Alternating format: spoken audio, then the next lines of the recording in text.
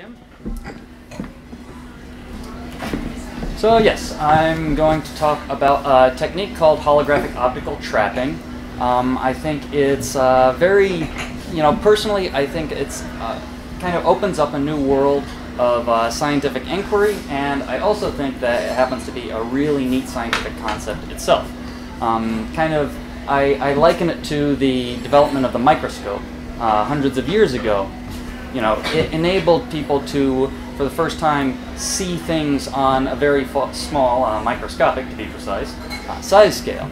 And what holographic trapping allows is you to actually manipulate things on very small size scales. Um, so all of the videos you're going to see are ones that I recorded while working for a company called Arryx uh, that uh, does this sort of thing. And because of that, I can vouch that few people in the world have seen um, really any of these in particular, and few people have also been able to use the technique. So I'm very excited to be able to uh, tell you all about it.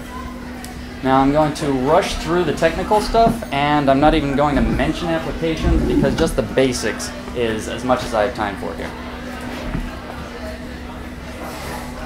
We shall begin with um, a basic optical trap, which you might have heard of under the name optical tweezers.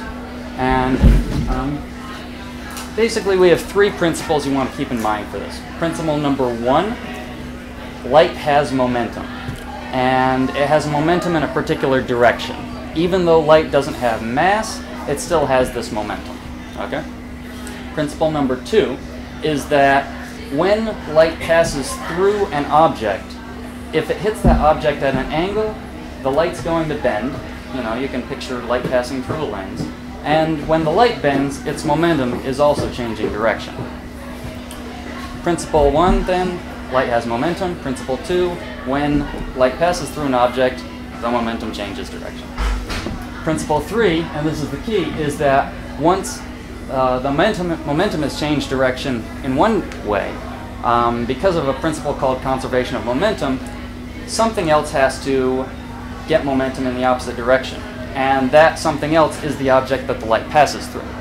So, to put this kind of in a, a more visual perspective, You'll see on the left you have, uh, picture a broad beam of laser light, and it's passing through a lens and focusing to a very sharp point. And now picture an object that you see there directly at the center of that uh, laser focus. Now, at the moment the light is all passing through the object and it's going, it's all hitting the object perpendicular to the edge of the object, which means that it just passes right on through. Uh, none of that light is actually being bent within the object and the object's very happy. It's not got any momentum transferring going on. The object likes to stay where it is. What happens in the other three pictures here is that the object is slightly off center from that laser focus. And what happens there is that it's got momentum kind of coming in from one side, not as much on the other side. It's got a lot of different things happening to it, and it makes it very unhappy basically. So the object really wants to get back to the center of that laser focus.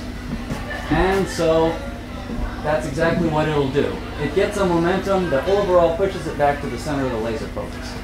And the useful part here is that as you move the laser focus, the object itself has to move along with it. So move the laser and you can move the object itself. Now what kind of objects are we talking about here? we're talking about basically objects in the middle two-thirds of this chart. And you know, that generally includes things like bacteria, animal cells, and some of the larger viruses. Uh, you'd be talking about a range from about maybe 200 nanometers to about 70 micrometers. You can, uh, up at about 100 micrometers, you're getting into the diameter of a human hair, and if you try to move anything of that size, it can be a very difficult thing to do. Um, likewise with the very bottom end of the size scale. So this is approximately what we're looking for in terms of our object size. Now, in order to make multiple of these uh, optical traps, which is the real invention um, that you know my company didn't make, but it was made uh, back in the late 90s. The practical way to make something like this happen relies on a little device called a spatial light modulator and you'll see it on the left side there. What it is is a very small liquid crystal display, just like in your mobile phone or in uh, that computer monitor right there. And it's just a little different from a regular LCD in that instead of creating an image that you can just look at, it creates a hologram. And we're all somewhat familiar with holograms. Um, the utility of a hologram for this purpose is that a hologram will allow you to take a single laser beam and split it into many different laser beams. And you can also adjust the characteristics of each of those lasers, uh, laser beams coming out of it. So that's the key part of the, uh, of the physical equipment.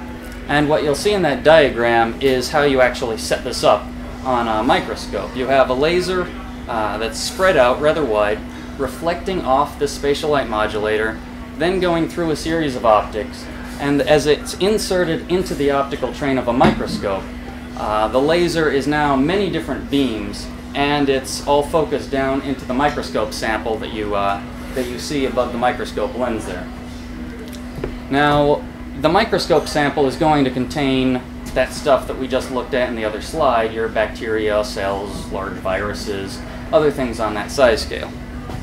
This is the physical setup. The software side of things is equally important. What the software side of things does, you take a bunch of objects. Right now we're looking at two micrometer glass beads. And so these are about 150th the diameter of a human hair. And what you do, you can point and click, and what that will do is calculate a hologram that will split the laser appropriately into the different beams corresponding with the locations that you're trying to uh, select. Again, we're looking at a microscope sample here, so what you're seeing are objects manipulated in real time, and they're being held by nothing but light.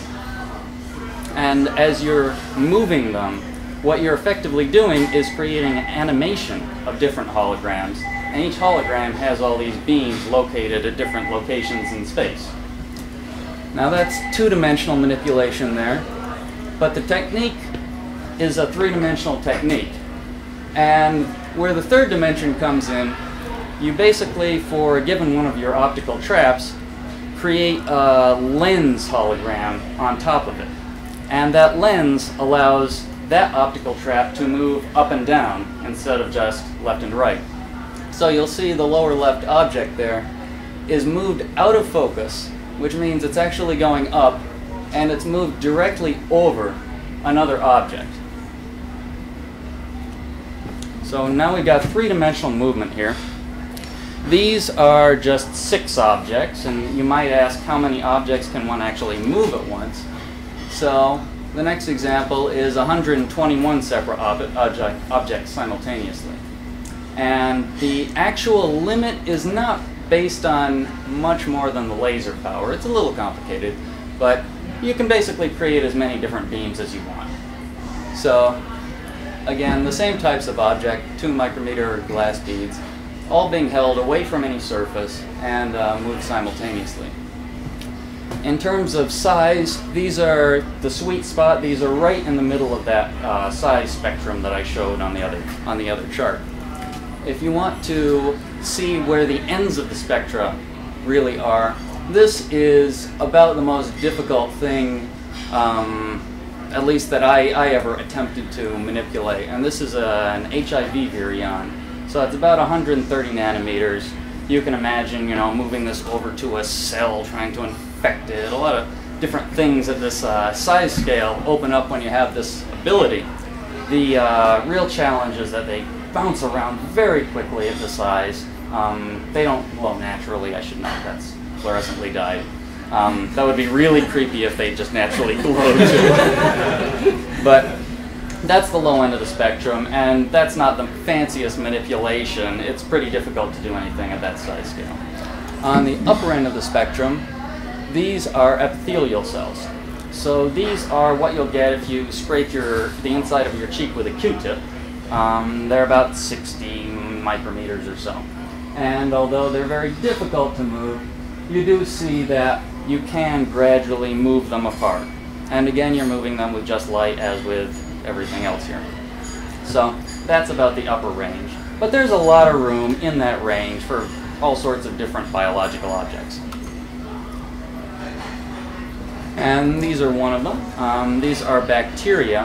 And one of the things that I like is we're actually manipulating live objects here. Um, this doesn't prove that they stay alive, but you'll, you can take my word for it that if you choose your laser color, your laser wavelength appropriately, then you can manipulate objects while keeping them alive. If you want to hit a red blood cell with a green laser, red absorbing green, that will be a very big disaster. But if you want to manipulate things like uh, bacteria, um, and if you manipulate with infrared light, for example, um, it works pretty well.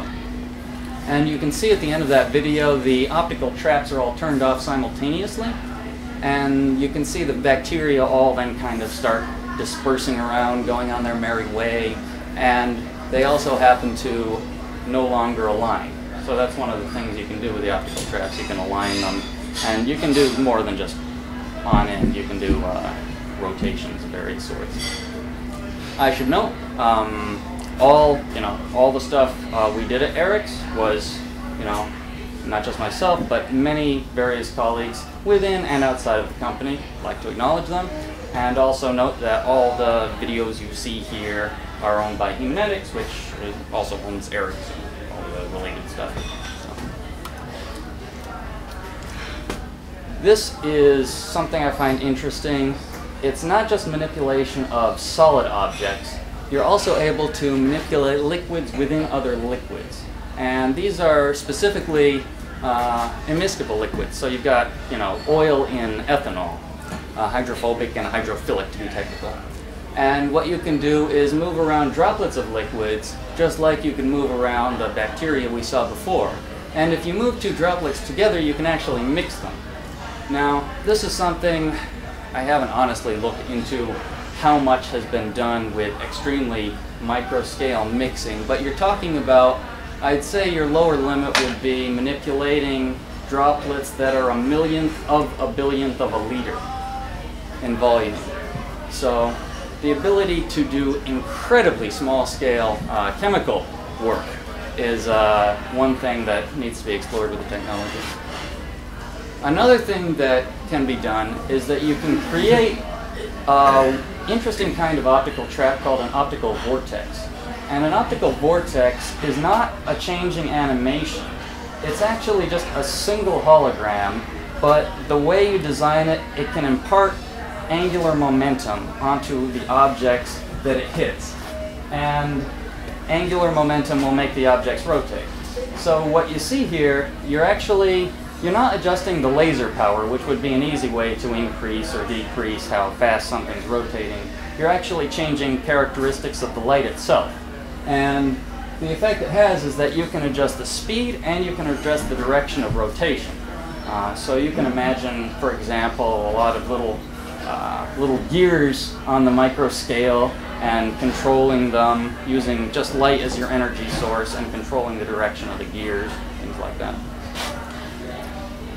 And then finally, um, when you're going to an actual application of, uh, of this technology, which again I haven't really gotten into, you need some basics on hand. And one of the basics is that you don't want someone just sitting over a machine and personally manipulating everything slowly in real time. You want some actual automated processing. So the only thing that we've told the computer here is that you're going to have some number of objects on the screen and we'd like to put them in this end pattern. And so at the beginning you're seeing it actually identify with image processing everything that it can find on there and it automatically traps them all and then it automatically calculates all these different paths for the objects to move along into this final shape which happened to be the uh, logo for the company. what a coincidence. The name earlier and now the logo. Um, so this is kind of half of what you do for automated processing of objects. The other half is uh, microfluidics because you need to get stuff in and out, but that's outside the scope of this talk. And with that, um, ready for questions, please.